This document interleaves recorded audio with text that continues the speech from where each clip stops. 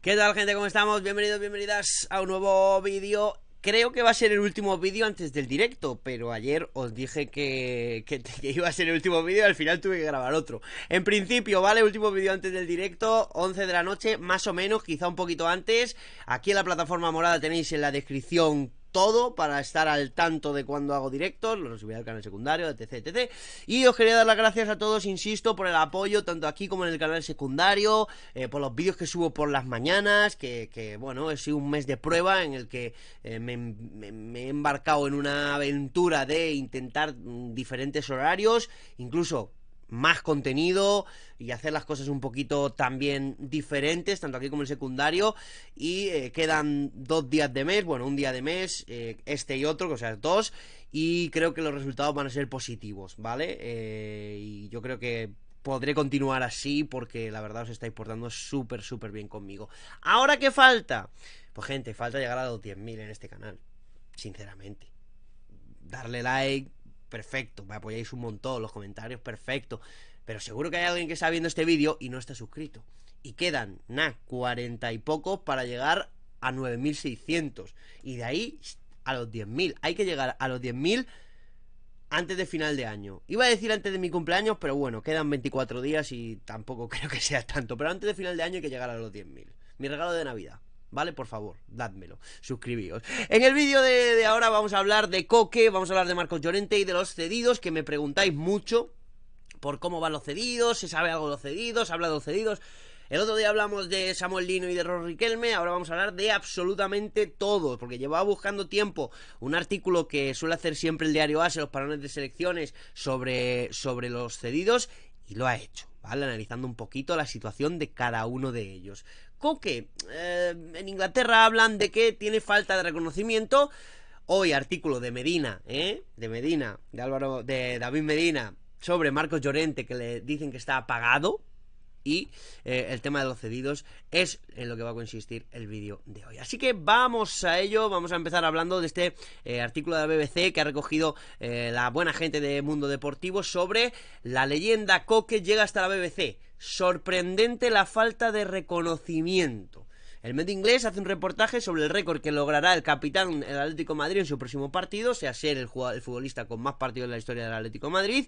Al medio inglés le extraña que el reconocimiento nacional e internacional no sea el adecuado para su carrera que ha llevado eh, su calidad y sus logros. Creo que hay gente que al, cuando yo lea esto, porque cuando estaba leyendo este artículo, la sensación que me ha dado, va a decir, no, pero es que Coque ya no está para ser titular en el Atlético, ahora mismo está fatal. Yo soy el primero que digo que está, que está mal, ¿no? Que es Buque Insignia Simeone y que al final eh, no le vas a quitar de ahí ni con agua caliente, prácticamente, ¿no? También es verdad, el día que fue suplente salió hizo y mejoró al equipo, hizo un muy muy buen partido, pero, pero la verdad que futbolísticamente ahora quizás no esté en su mejor momento, incluso se notó con, con, España, ¿no? Pero lo que está hablando aquí es que la prensa en general o el mundo del fútbol eh, le están dando poco reconocimiento a su trayectoria, no a lo actual, ¿vale? Por eso yo creo que lo actual, el que actualmente no esté tan bien futbolísticamente, está empañando un poco toda su carrera y toda su, su trayectoria en el, en el Atlético de Madrid. One Club Man, uh, perdón, tipo Totti, ¿eh? o sea, Totti para mí referente de nuestros hermanos de la Roma y de alguno más, eh, como Puyol, por ejemplo, también, y, creen que no se le valora lo suficiente, ¿no? Aquí habla, dice, eh, Coque, como el centrocampista de un solo club se convirtió en la piedra angular del Atlético de Madrid, y se titula así el reportaje. El récord de este fin de semana finalmente debería verlo recibir un crédito largamente atrasado, sorprendentemente raro para un jugador que ha logrado tanto, señala ese periodista. Eh, hablamos ahora mismo de la figura histórica por excelencia del Atlético, el jugador con más partidos historia del club, poca broma. Coque es el último hombre del club eh, y se unió a la Academia del Atlético a la edad de solo 6 años. La, la llegada de Simeone en 2011 fue un momento clave para su desarrollo. Se explica que el primer título de liga en 2014, Coque estaba firmemente establecido como una presencia imbatible gracias a su combinación de sentido posicional, pases eh, perceptivos, constancia, excelencia, eh, excelente entrega de balones parados, siendo crucial para su entrenador y una ética de trabajo incansable. Una, dicen, condición física que ahora eh, está siendo muy criticada, y eso lo añado yo, sobrehumana, dicen. Otro de los atributos de Coque es el nivel de condición física casi sobrehumano que le permite jugar al menos 40 partidos cada temporada durante la última década y nunca perderse más de un mes de acción por lesión, ¿no? Coque puede ser visto como la encarnación de todo lo que representa el club, entiende cada cosa sobre el Atlético, desde el entrenador y sus compañeros hasta los aficionados, y se ha convertido en la pieza angular sobre la que se ha construido el equipo, señala este periodista. Sí ven a Coque desde fuera, ¿eh? A menudo pasa desapercibido y rara vez se le considera uno de los mejores jugadores de su generación. Para alguien que ha sido parte integral de ganar todos los trofeos posibles en el club, excepto la Champions, que sea tan poco nombrado parece un poco extraño. Explica para señalar que puede deberse a su estilo de juego de equipo primero, que es sencillo y eficiente en lugar de espectacular y llamativo. Fuera de la cancha es una historia similar. Coca, Coque, Coque, madre mía, Coque nunca rehuye los deberes de entrevistas eh, posteriores al partido, después de una derrota, pero rara vez se posiciona frente a las cámaras después de una victoria. El modesto desinterés de Coque no pasa desapercibido para la afición eh, y compañeros y por supuesto su entrenador. Si las cosas se ponen difíciles para el entrenador argentino, tener a su lado al impecable, confiable Coque, como siempre, podría hacer que ese momento difícil sea un poco más fácil de soportar. Pues eh, mira, eh, buen artículo, buenas frases que hablan del capitán del Atlético de Madrid y a veces yo también pienso la falta de reconocimiento, pero el fútbol es una cosa en el que se vive en el momento. Es decir, no quiero comparar eh, ni mucho menos, pero voy a poner un ejemplo un poco estúpido. Eh, si hay una noticia de última hora, si yo no la subo en el momento y la subo tres horas después, no tiene el mismo efecto.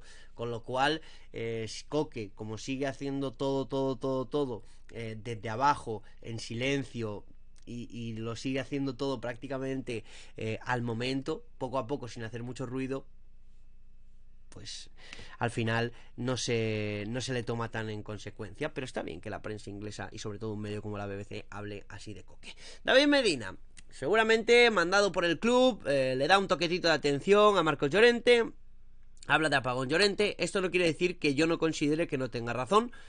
Eh, a lo mejor no, yo no hubiera titulado Apagón Llorente, pero eh, Llorente está, algo le pasa. ¿Vale? Algo, yo creo que algo le pasa porque ya no es el mismo y quizá creo que según lo que hemos hablado en algún directo y he leído algunos comentarios, el mareo de posiciones creo que puede, puede pasar desapercibido. El tema de Trippier, de que no ha encontrado un lateral derecho eh, a, su, a su nivel y, que, que una vez se fue Trippier, pues el mejor Llorente parece haber desaparecido, ¿no?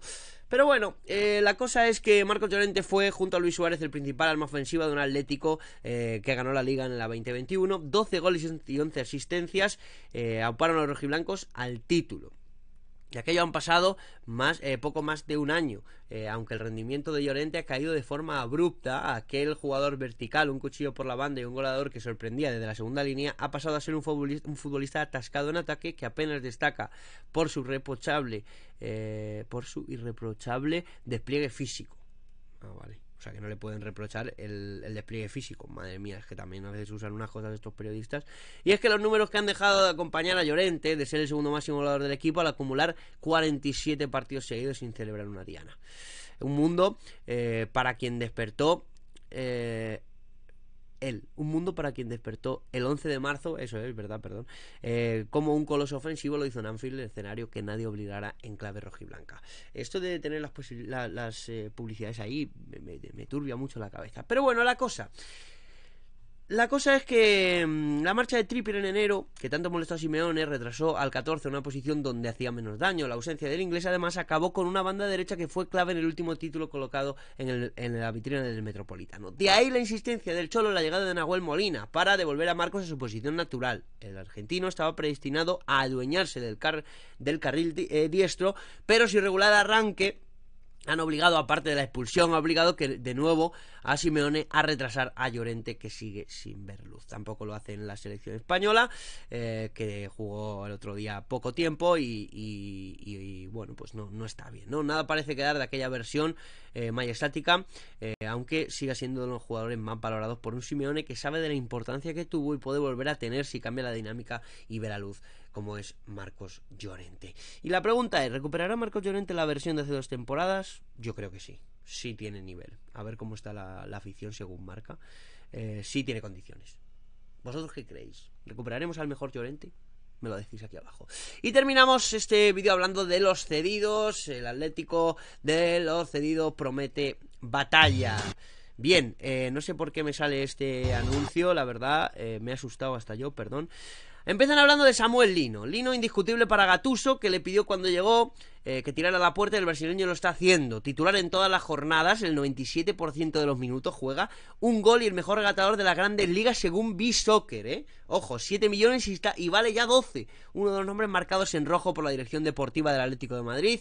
Lo único malo, su pasaporte está comunitario, pero que me juego lo que quieras a que si rinde y se va a quedar en el Atlético, pronto harán algo para que deje de ser esta comunitario. Roro Riquelme, otro eh, bajo el radar es Rodrigo Riquelme, cesiones en el Bournemouth y en el Mirandés, se está haciendo gigante en Girona. Se perdió un partido por lesión, pero en el resto ha sido titular como media punta para Michel y está convenciendo a De La Fuente para ser importante en la sub-21. El otro día marcó dos goles en este eso es, míralo, hizo dos goles a Rumanía. Es posiblemente el calderano en el que más esperanzas hay puestas por su progresión y que se está adaptando además a diferentes posiciones dentro del centro del campo. Lodi, que a algunos se nos olvida, ¿eh?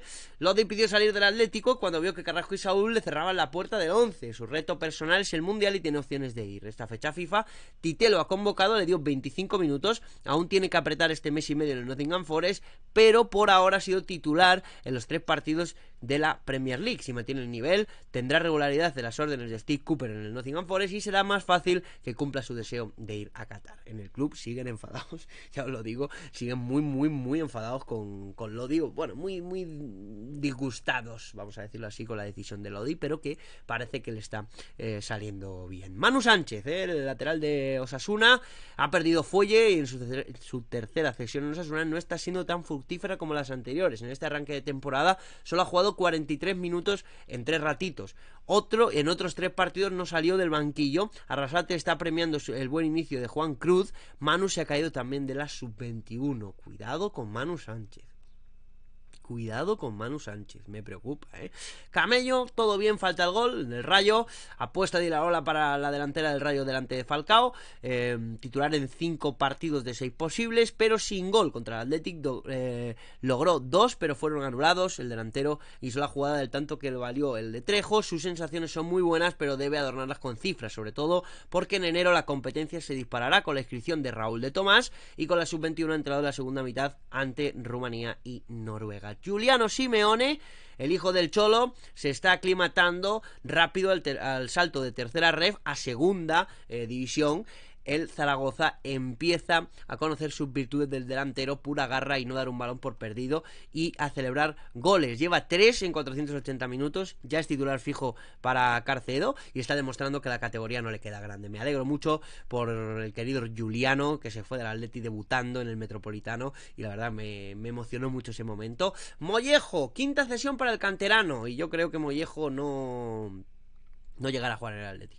Quinta cesión para el canterano tras la de Deportivo, Getafe, Mallorca y Tenerife, que fue donde más rindió. Este curso también en el Zaragoza va de menos a más, aunque ha participado en todos los partidos, los tres últimos como titular, lleva un gol y una asistencia que, y también ha convencido al entrenador del Zaragoza. Borja Garcés eh, es el tercer préstamo después de jugar en Fuenlabrada y Leganés. En el Tenerife empezó el curso en una lesión muscular, pero ya ha convencido a Ramis para que forme una dupla de ataque con eh, Gallego. Y eh, el melillense lleva un gol. Marcos Paulo, cuidado con Marcos Paulo, que también está junto con Javi Serrano en el Mirandés. Tuvo un verano complicado porque no encontraba destino, pero finalmente encontró acomodo en el Mirandés. Desde que llegó es titular para Echeverría, pero así no ha sumado Mm, contrario a Javi Serrano, ¿eh? ha llegado eh, también, pero en los cuatro partidos en los que ha estado disponible ha entrado en la segunda mitad. ¿eh? Y Miranda dice ya conoce la pasión con la, que le añade el madrileño al centro del campo. Por último, Germán Valera, bueno, por último, no, por penúltimo, titular habitual en el Andorra, por una banda o por otra, extremo amenaza constante, aunque no ha celebrado ningún gol sobre los minutos que está en el campo. Y por último, lo de Vitolo. Vitolo no ha debutado con Las Palmas. Lleva sin jugar partido oficial desde el 9 de enero. Desde el club, que van a decir, eh, piden paciencia con él porque ha ido enlazando problemas físicos durante las últimas semanas y se ha entrenado con el grupo, aunque no al 100%. García Pimienta, entrenador de Las Palmas, dice, eh, y lo ha dicho varias veces en ruedas de prensa, que me lo han contado gente de allí, que espera a Vitolo. Pues oye, un vídeo completito, Coque, Llorente, los cedidos, dale like, suscríbete, activa la campanita, lo que quieras, los comentarios. Y nos vemos en directo esta noche. Hasta luego.